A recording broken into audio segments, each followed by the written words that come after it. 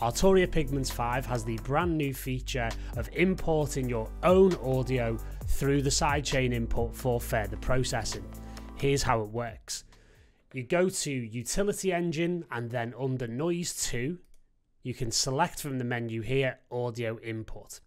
Then go to the sidechain input, select your sidechain input. In this case here, it's a piece of audio I already have loaded into Ableton here. I can mute that output. Then when I create playback, you can see the signal here. And then when I play notes within Pigments 5, you hear that sidechain input coming in. Then you can go to the filter section here and play with filters.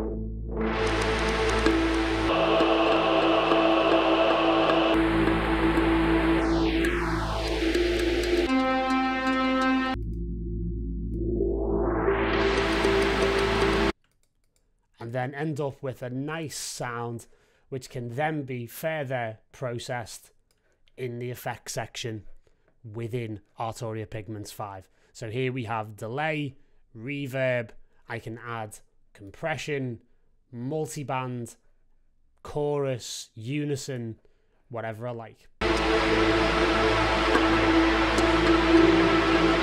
This adds a powerful new sound design dimension to Arturia Pigments 5.